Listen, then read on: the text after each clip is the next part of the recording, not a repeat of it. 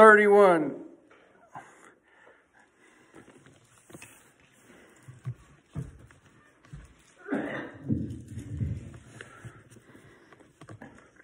It's going to seem redundant what we're reading this morning, but y'all hold on.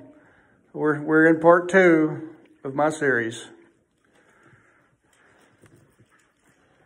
And came down to Capernaum, a city of Galilee, and taught them on the Sabbath days. And they were astonished at his doctrine, for his word was with power. And in the synagogue, in the synagogue was a man which had a spirit of an unclean devil, and cried out with a loud voice, saying, Let us alone. What have we to do with thee, thou Jesus of Nazareth? Art thou come to destroy us? I know thee who thou art, the Holy One of God. And Jesus rebuked him, saying, Hold thy peace and come out of him. And when the devil had thrown him in the midst, he came out of him and hurt him not. And they were all amazed and spake among themselves, saying, What a word is this! For with authority and power he commandeth the unclean spirits, and they come out. And the fame of him went out unto every place of that country round about. Turn with me to the book of Mark, chapter 1.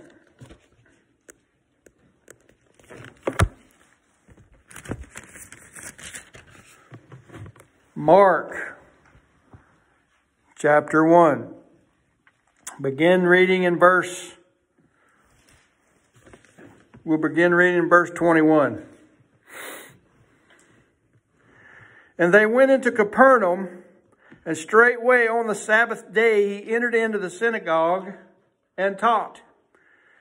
And they were astonished at his doctrine, for he taught them as one that had authority and not as the scribes. And there was in their synagogue a man with an unclean spirit, and he cried out, saying, Let us alone. What have we to do with thee, thou Jesus of Nazareth? Art thou come to destroy us? I know thee who thou art, the Holy One of God. And Jesus rebuked him, saying, Hold thy peace, and come out of him. And when the unclean spirit had torn him and cried with a loud voice, he came out of him. And they were all amazed, insomuch that they questioned among themselves, saying, What thing is this? What new doctrine is this? For with authority commandeth he even the unclean spirits, and they do obey him. And immediately his fame spread abroad throughout all the region round about Galilee. Father, we ask a blessing upon the reading of your word by your grace. We ask a blessing upon the preaching of your word by the mercy that you give us. We ask that it, it, it, it be for your honor and glory, for uh, to help us make our way in this world, make, make our way in the kingdom of heaven. May we learn things that are helpful and useful to us. May we learn to contemplate these things, comprehend them, dwell on them, think about them, and help us to rightly apply them. In Jesus' name we ask. Amen. I know that that reading seemed a little familiar, right? Both texts are almost identical, right? Uh, I'm not going to preach through both texts. I'm going to pick one. But I wanted to read both of them, and we might allude to the other ones as we go, all right? Uh, we're going to start verse by verse in Mark 1, 21. So you're not going to have to be flipping around today. I don't think I have any uh, kind of scriptures for us to scripture hop for. So be, be comfortable with your hand on that page. All right. But I am, I might allude to the other a little bit, but don't have to turn there. Uh, but in Mark 1, verse 21, it says, And they went into Capernaum, Y'all have heard of the, the Sea of Galilee? So, you know, it's right there on my map, so I'm not going to walk over there. But you can see that big body of water kind of three-fourths up on the page there. That's Galilee. And on that, there was a city, Capernaum, up there on the northern side of it. Y'all know the north, south, east, and west. So just picture just north on that big lake is where Capernaum was. That's where Jesus spent most of his time in that area. Uh, he, he did move all over Israel, but that's where he was a lot. So they went into Capernaum, a city in Galilee. That's the Galilee area that I just showed you from that, from that lake on out to the coast of the Mediterranean.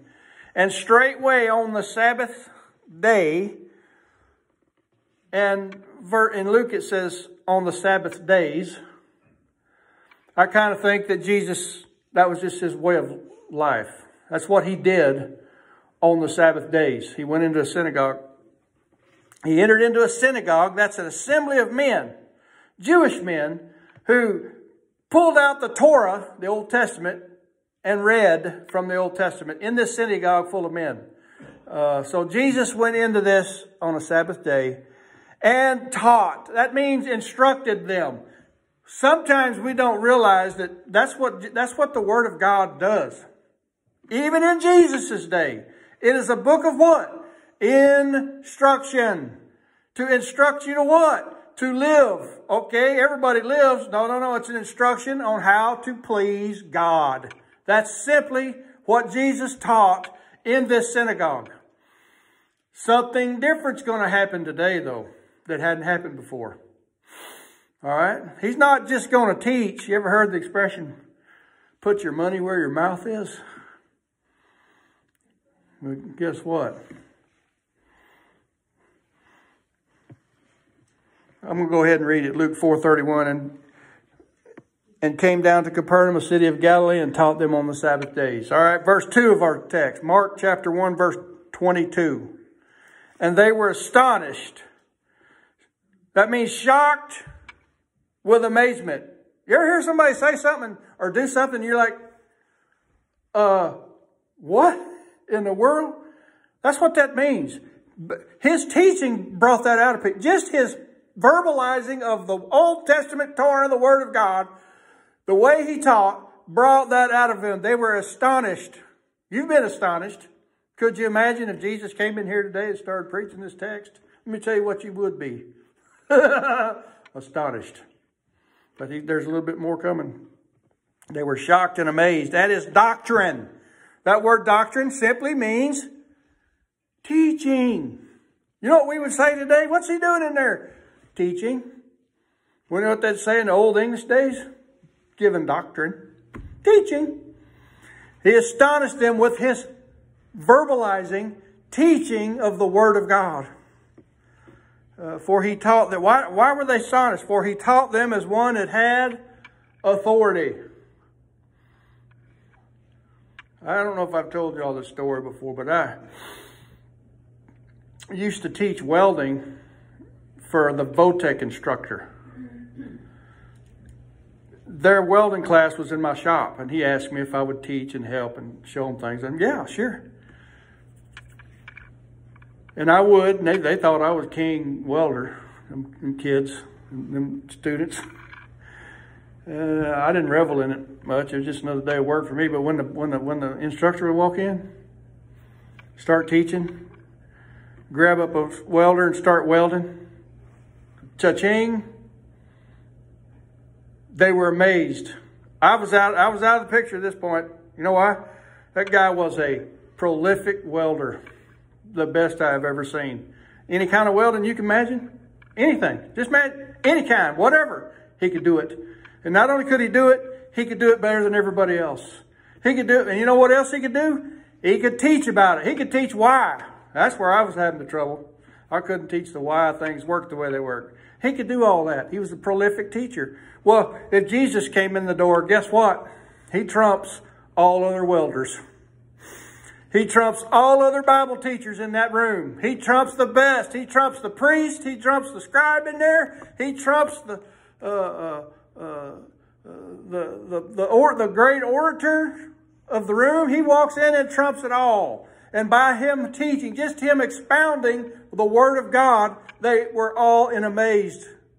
You ever been amazed? what that's why this room was with him teaching. He taught with authority, like the like the man who hired me to weld. You know what I, I could you know what I had? Dunamis. That's the ability and the and the energy and the strength and the know-how to do it. You know, I could just I could do it. But that man had this word right here. Authority is the word exousia. That's authority. I may have had the dunamis to go well, but this guy walked in, he had something far better than that. The man who taught, taught me and showed me, he would have the authority. Jesus came in, all these guys had the dunamis, you know, in the synagogue to preach the word of God, but then here comes this other, here comes the man. He not only had the dunamis, we find that, but he preached as if he had authority. His man preaches with exousia, authority, the right. Let me read you something. Don't turn there. Luke 4.32. And they were astonished at his doctrine, for his word was with power. See, our text in Mark says with authority. In Luke it says with power. But you know what word that is? It's exact same Greek word, exousia. Sometimes that word's pronounced energy. But here it's power. So whether it's authority or power, Jesus preached with the authority from heaven. Have you ever been debated? Somebody ever debate you? Okay, let's talk about, we're, we're talking about church, right, Bob? Somebody ever debate you about the Word of God? Somebody ever yeah but you? Yeah, but you know, the word says this. I don't think that went on with Jesus. I think when Jesus taught, everybody in the room, with the exception of this devil we're going to run across here in a minute, but that's what that's their nature. Everybody in the room was like, you know, no arguing with this guy. You know, talk. that's the way Jesus taught. He taught with power, uh, exousia, and or authority from Mark, exousia. Verse 23. Mark 1:23. And there were in the synagogue a man with an unclean spirit, and he cried out. That word cried out in Luke 4 is means to cry out with a loud voice. He cried out with a loud voice. Must have been a preacher. No, this guy was a this guy was an interrupter. This was this guy who wanted to throw an axe. They wanted to throw something, a cog in the machine. He cried out with a loud voice. Let me read you Luke 4, 33. And in the synagogue there was a man which had the spirit of an unclean devil. And by the way, that should be demon. That's what this unclean spirit was, a demon. You know what that is? When Satan is the devil, there's only one. But when he was cast out of heaven, he, a third part of the angels went with him. They are now demons. They work for the Lucifer. He cried out with a loud voice, Luke says, saying, verse, or Mark 1, 24, saying, Let us alone.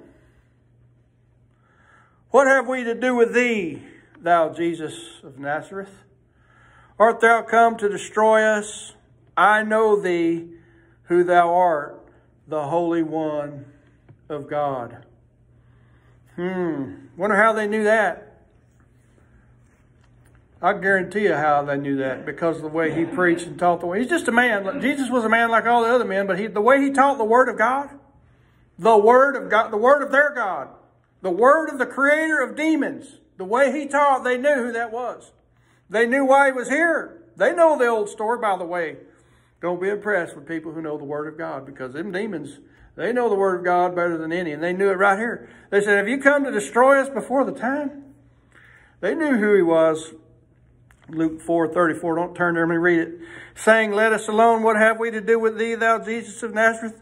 Art thou come to destroy us? I know thee who thou art, the Holy One of God. Gets a little bit redundant. You know, there's a lot of twofers, a lot of stories that are only told twice or told once, but in two different gospels. And it, there are not very many of them that are so close together on words like this one is. I don't know if we're going to keep doing that or not. Uh, but you get the picture?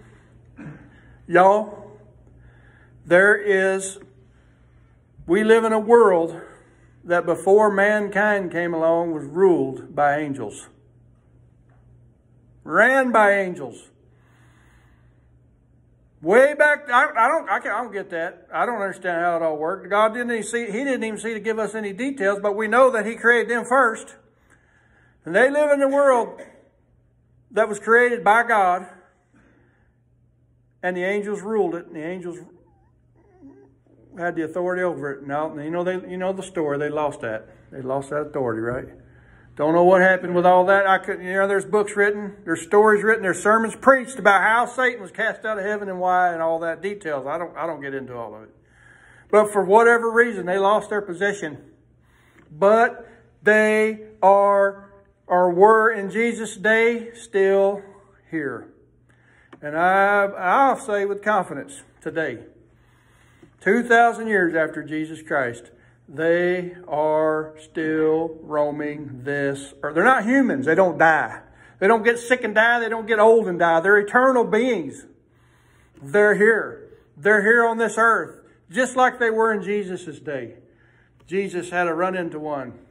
I'm not going to get into demon possession tonight or today, and I'm not going to get into the casting out of demons and all that. Uh, but all I want you to realize is, y'all, we, we sometimes get to thinking that we know everything. We don't know anything. You all know there's a war going on? A spiritual war? I think Paul alludes to it, and I'm going to get into this morning quite a bit in his writings. Principalities and high places. I ain't talking about men, y'all. I'm telling you, the devils are still at work. We not, we never need to forget that when you're studying your Bible. When you're praying, you ask God to help you in a sin darkened, demonic world. That's the difference between our world and theirs, probably. We're told the whole world is totally de de demonic now. The stuff they pump out on the news is demonic. The stuff people are doing is demonic. We don't need to forget that. Be glad you are a child of God. Be glad you have the Holy Spirit of God that indwells you. You know why? because greater is in you than he that is in the world. You know what that means? You cannot be possessed by a devil. Be glad about that. Can they influence? Oh, I'm sure. Absolutely.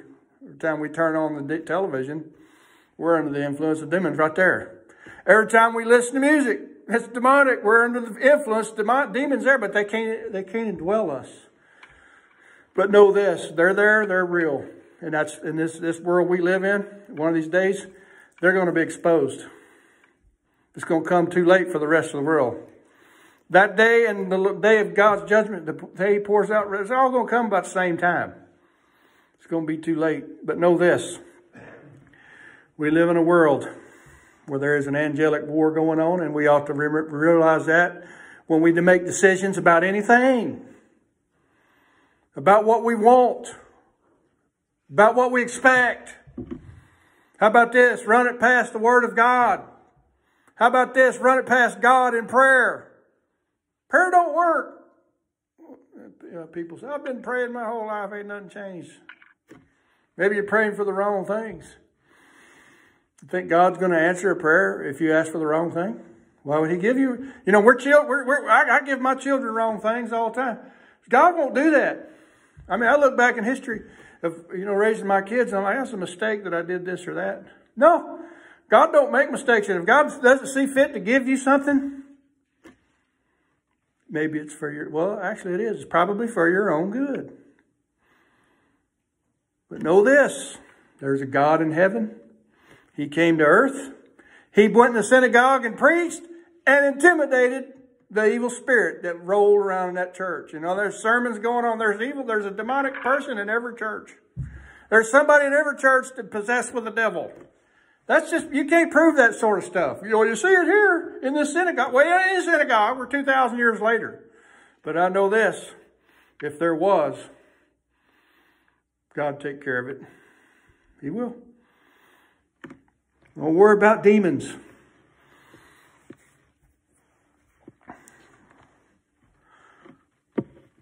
Oh, I could go in on stories about demon possession and casting out demons. Some of the stuff I've heard over the years, they're not going to. Uh, I, I, would, I will, I will warn you this. I know of a guy who, a very solid preacher, very solid, one of the most solid Bible theologians you can imagine.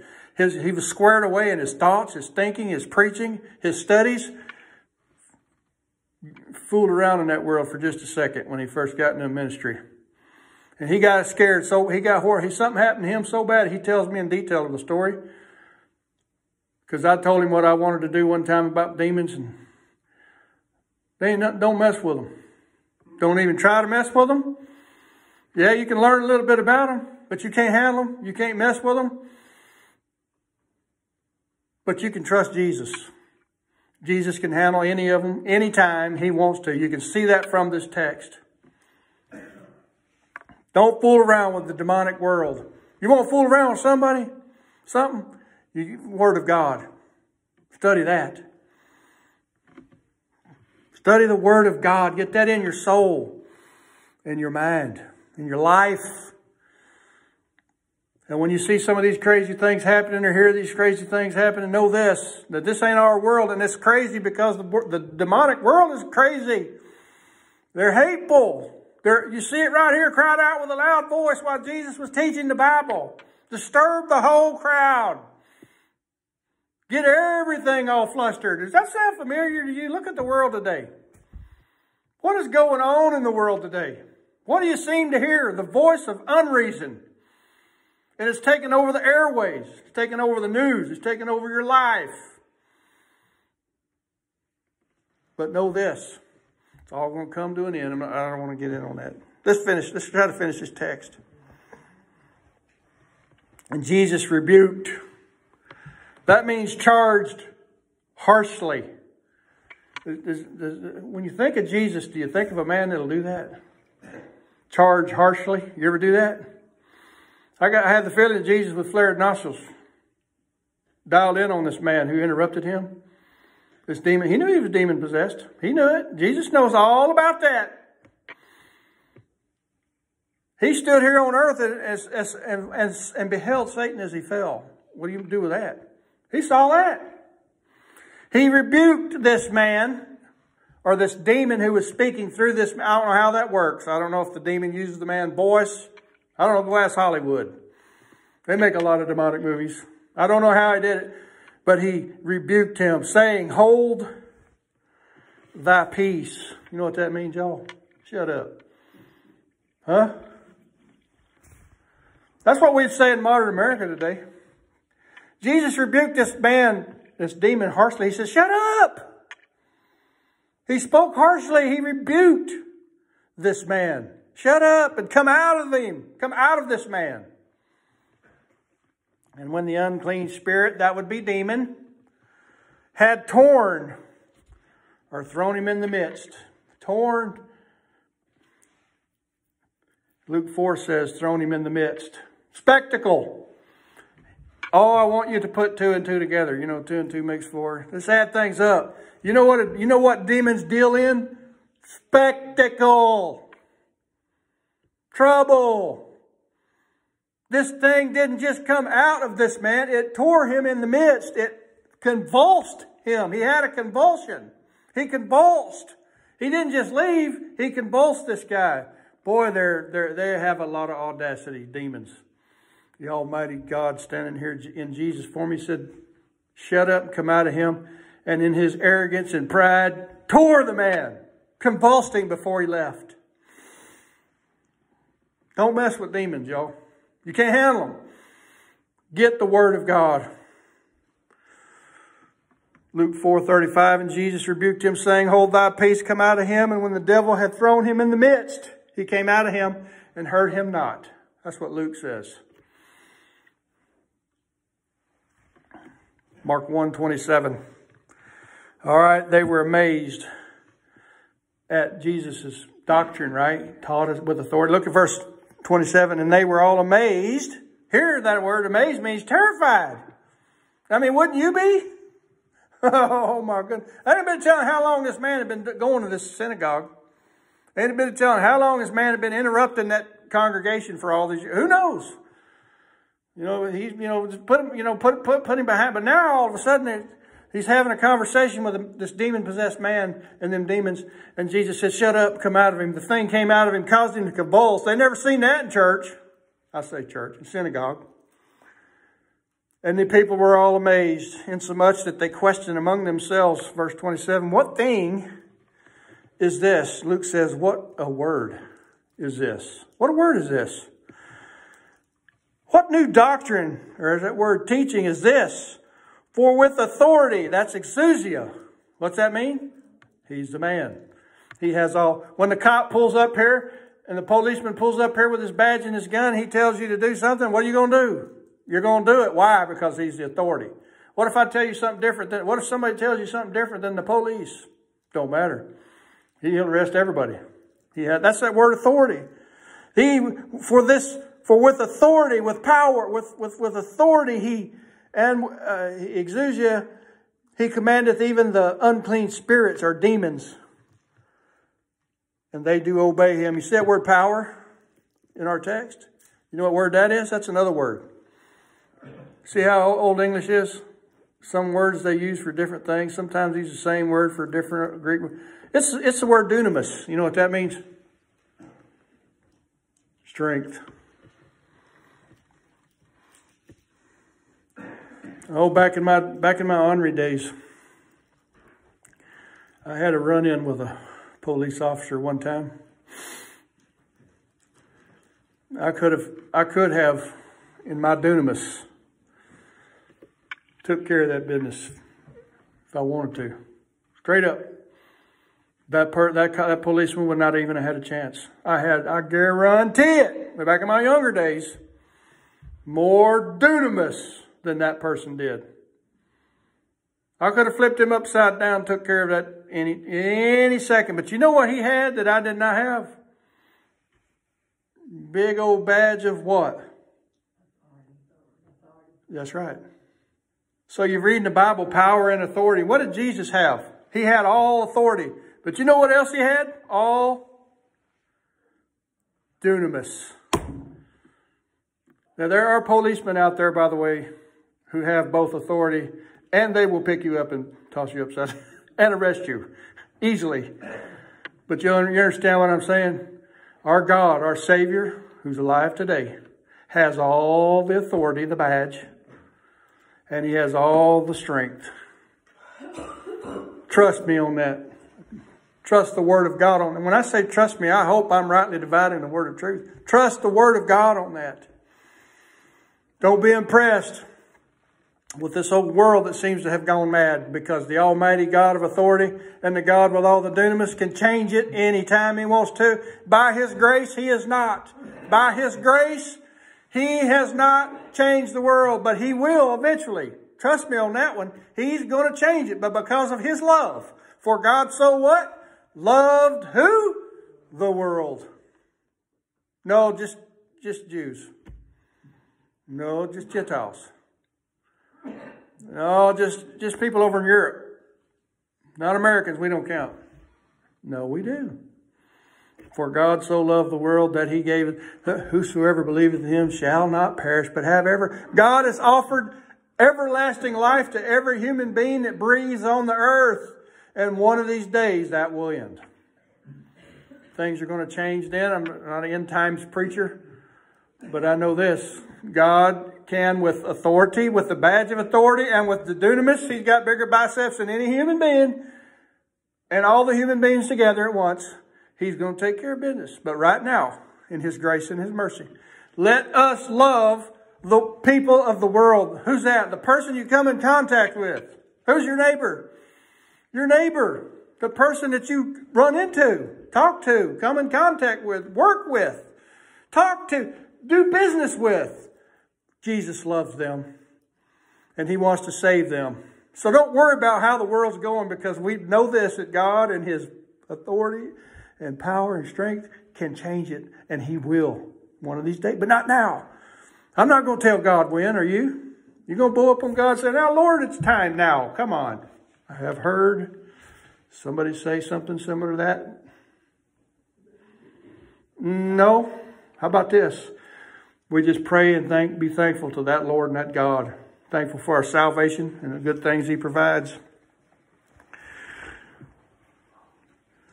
Luke, let me read you Luke 4.36. And they were all amazed and spake among themselves, saying, What word is this that with authority, exousia, and power, dunamis, he commandeth even the unclean spirits, and they come out of him. Mark 1.28, and then we're done.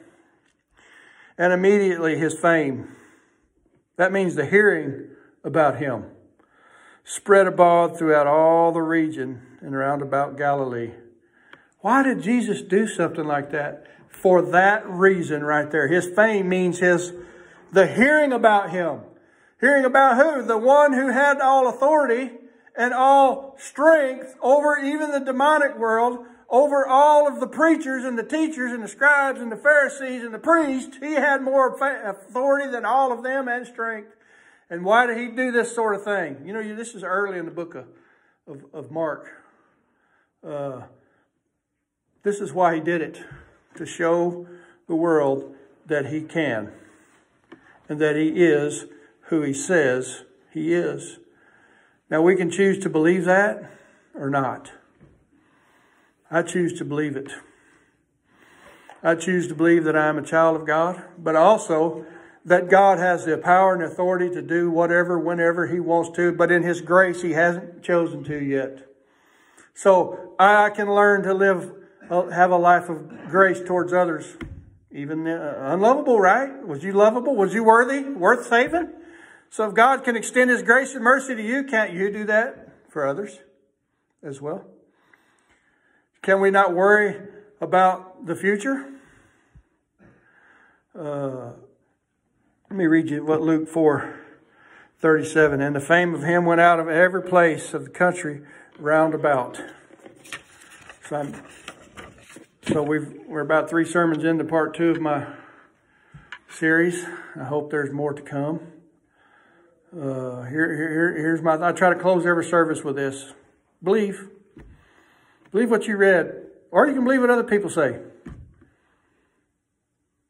One of the smartest men in the world right now, I, I, I watch him. I like listening to him talk. He is smart. He's very, very well spoken, pleasant.